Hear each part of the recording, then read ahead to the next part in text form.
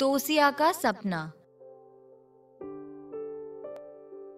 दोस्तों, क्या आपको सपने आते हैं?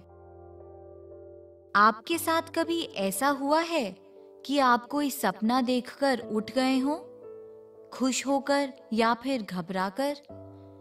तोसिया भी एक सपना देखकर उठ गई है।